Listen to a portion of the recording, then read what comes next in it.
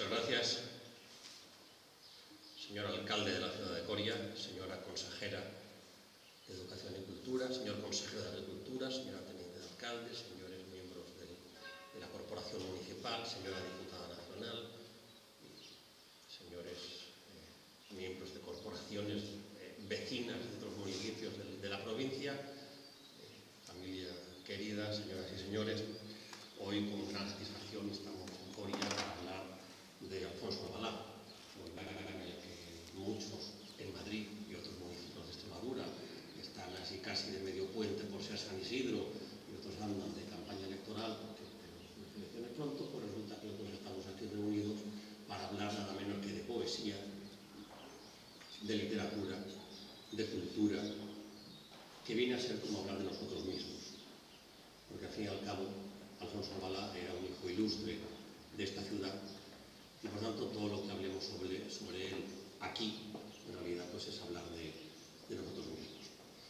Hoy venimos aquí por, para hacer la presentación de la poesía completa. Pero lo que más emoción produce es ver aquí realmente la poesía completa de Albalá, que su poesía completa realmente es su familia. Josefina, su mujer, sus hijas, Gracia, María José, por supuesto, Paloma, su poesía completa, sus sobrinos que están aquí, sus nietos, esta sí que es verdaderamente la poesía completa que cualquier persona, desde luego cualquier escritor, puede desear. Pero en este caso, si hablamos de poesía completa, porque hay un libro que se llama así y que resulta que acaba de aparecer, está como recientito ¿verdad? De, la, de, de la imprenta, y por eso lo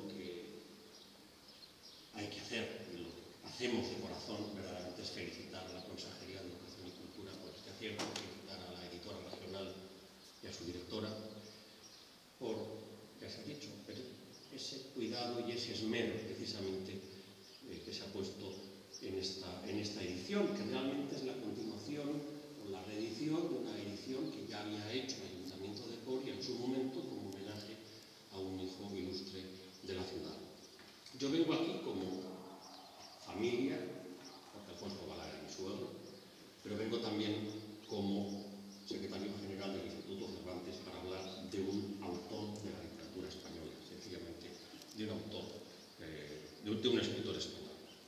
¿Quién era Alfonso?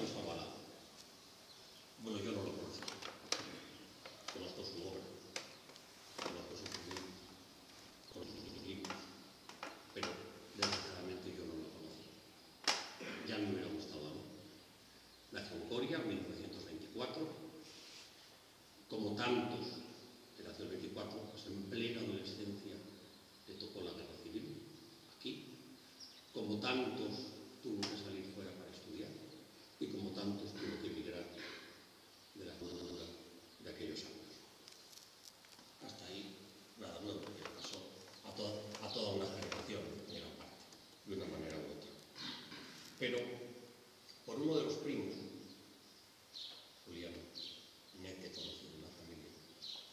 sabido que su padre, Modesto Albalá, resulta que era liberal, lo cual quiere decir que no estaba bien visto ni por esa derecha tradicional, reaccionaria, conservadora, ni por esa izquierda revolucionaria, marxista,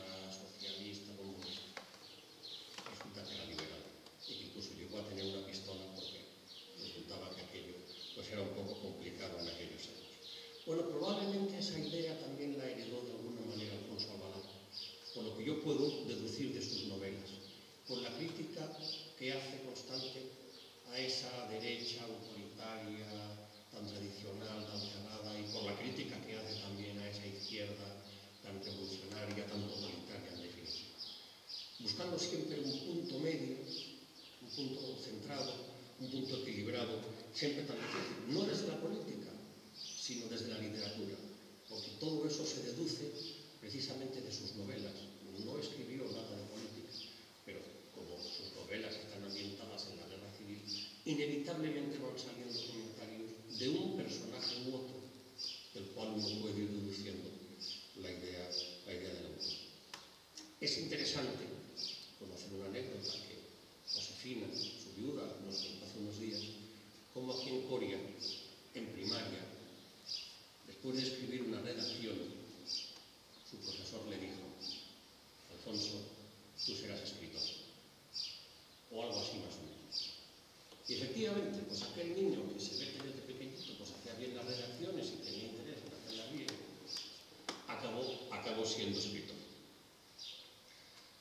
Algo que supongo que muchos de Coria pueden ver o pueden saber, que a lo mejor les suena, o cuando pasen por ahí y vean que hay una calle de Alfonso Albalá, pues algunos habrá preguntado quién será ese Alfonso Albalá y por poco que busque, pues habrá encontrado pues, que era un escritor y de aquí de Coria.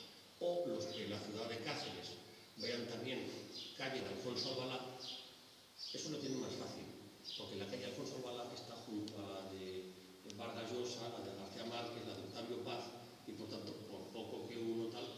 da cuenta de que, bueno, pues este debía de ser un buen escritor cuando Cáceres Capital ya han puesto una calle junto a los demás grandes escritores. Quién sabe si en el futuro otros, más, otros municipios más también dedicarán eh, una calle a Alfonso Lala como gran escritor extremeño y español. Yo no lo conocí, insisto, pero me queda la familia y me queda su obra. María José ya explicaba algo de su obra. Efectivamente,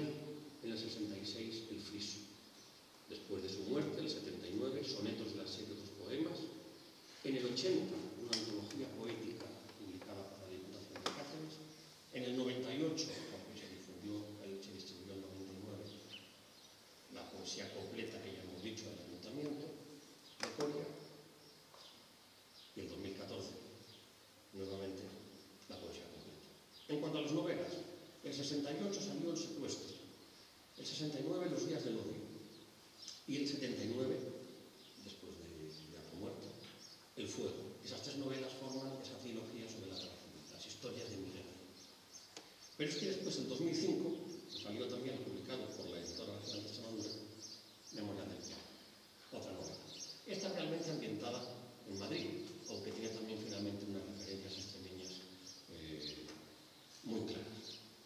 cuando los ensayos? El ensayo, introducida al periodismo del año 70. Es decir, si hacemos la cuenta, en vida publicó seis libros y después de haber muerto se han publicado otros seis libros, lo cual para mí es muy significativo. Quiere decir que su obra, 40 años después, sigue estando viva. Quiere decir que su obra sigue, sigue teniendo relevancia, sigue teniendo repercusión. No es autor que publicaron los libros y después, bueno, hayan quedado acuerdo. No, es que se han publicado tantos libros después de muerto como los que publicó, como los que publicó en vida. Lo cual creo que es, es muy importante. Como hoy estamos precisamente para hablar de poesía, permítanme algunos comentarios. Su poesía nace en Coria y nace desde aquí. Nace como la persona misma que nace y se desarrolla desde aquí. Pero no es una poesía su expresión dialectalista, no es regionalista, porque es una poesía universal. Y creo que en este uso del lenguaje también hay algo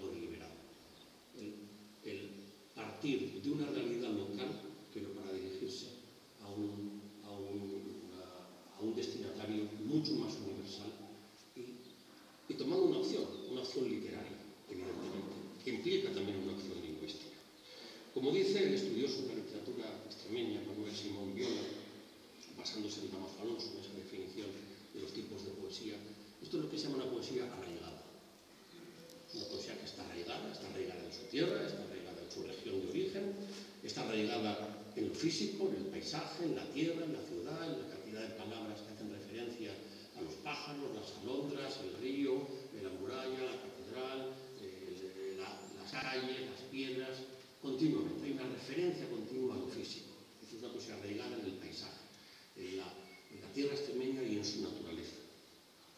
Es una poesía arraigada en lo espiritual, en sus creencias, en su tradición cristiana, judío-cristiana.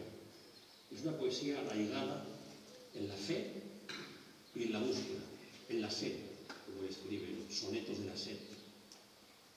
Una palabra que usa mucho, esa sed, la sed de lo espiritual, la sed de Dios. Pero es una poesía arraigada en lo cultural. toda una tradición cultural, literaria española de siglos. Por eso lo que él escribe, lo escribe desde Coria, claro, desde Cáceres, desde Extremadura, pero es literatura española, es literatura en español, es una literatura perfectamente arraigada y engarzada en lo que es todo el conjunto de la historia de la literatura española. Y por eso hace que tenga un valor, en ese sentido, una dimensión eh, que puede llegar mucho más allá.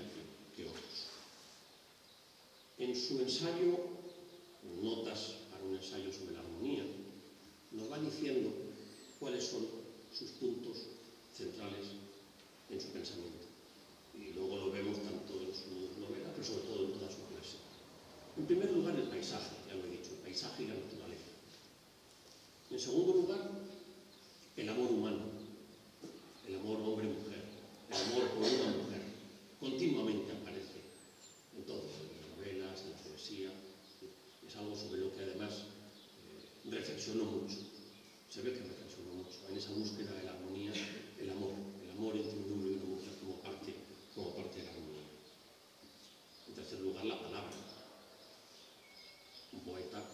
teológico se basa en la palabra, pero le da una dimensión espiritual eh, que viene desde el Evangelio de San Juan.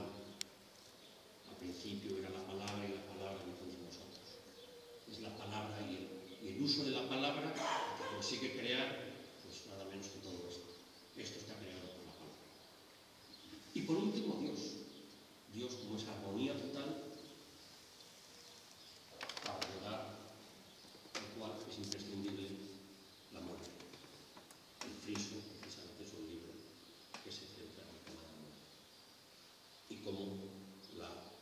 búsqueda de Dios forma parte de ese natural eh, desarrollo de cualquier persona. Por tanto, hay esos cuatro elementos claves.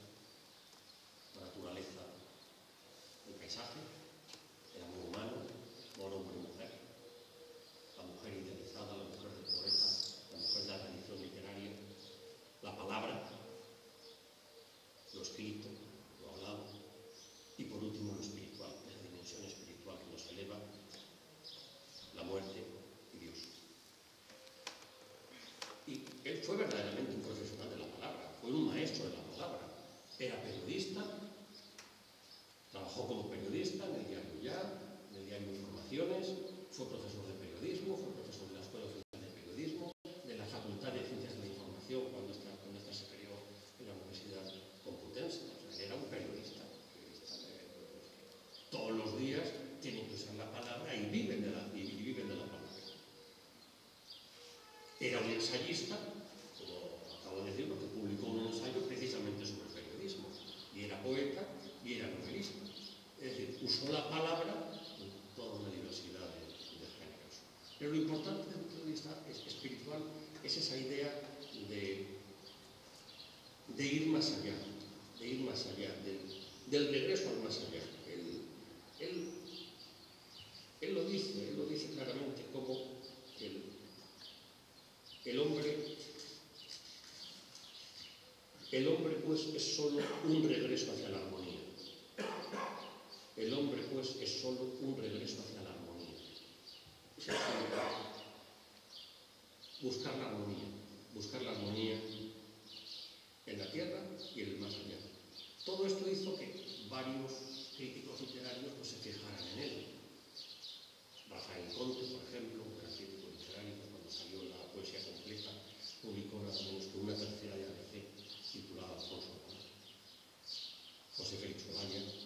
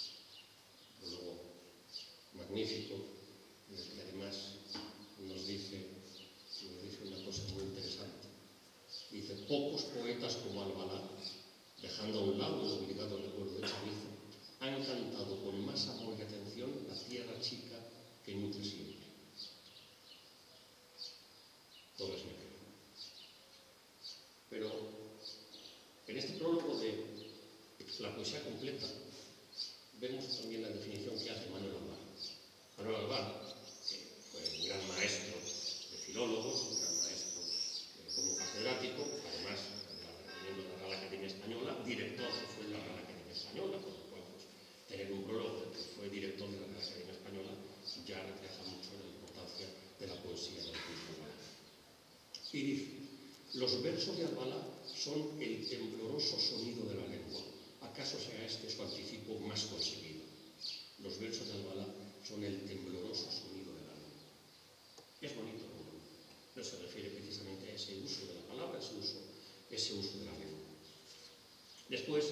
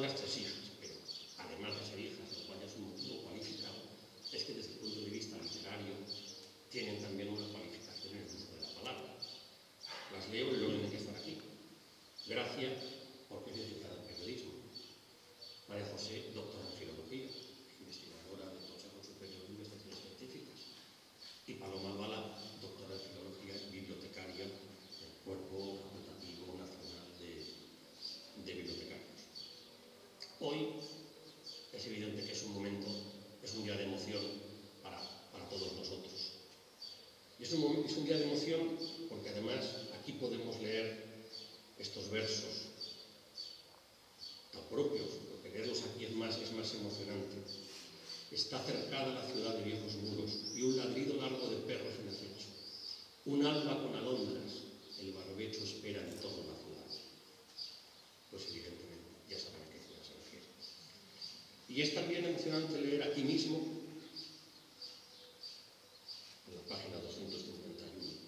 por el camino de los frailes, aquel camino de los pájaros, que trae siempre la cigüeña con sus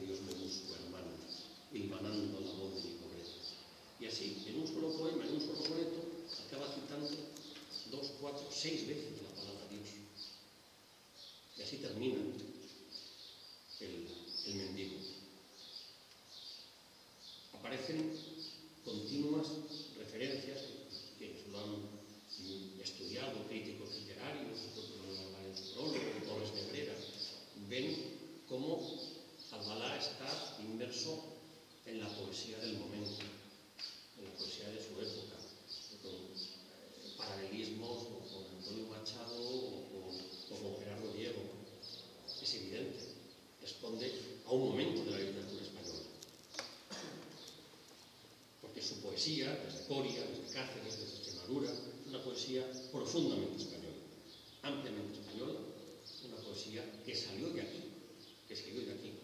E aquí hemos regresado hoy, aquí regresamos a buscar con esa sed de armonía que decía José Alvarado,